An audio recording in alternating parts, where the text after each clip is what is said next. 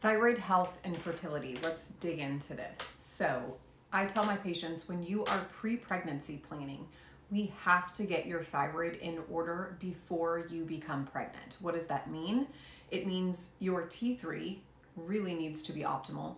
Um, your ability to get pregnant and maintain pregnancy early on is heavily related to adequate T3 levels. So I want my patients T3 between about 3.6 and 4.2 for the bulk of their day.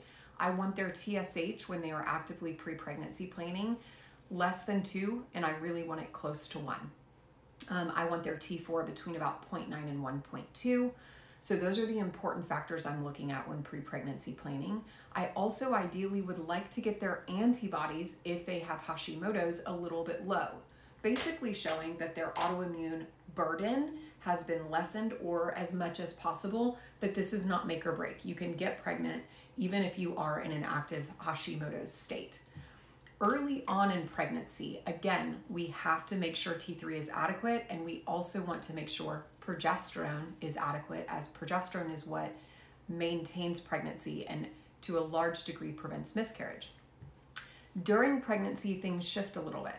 T3 is so important, you guys, and you guys hear me talk about this all the time. However, T3 cannot cross the placental barrier. So we have to make sure T4 or your inactive hormone is optimized because that is the hormone your baby has access to.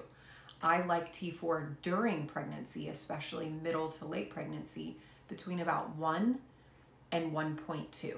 So I hope that helps, that offers clarity. We also check labs every six weeks during pregnancy and adjust medication doses throughout because research shows pregnant women on average need an increase of about 30% in their medication.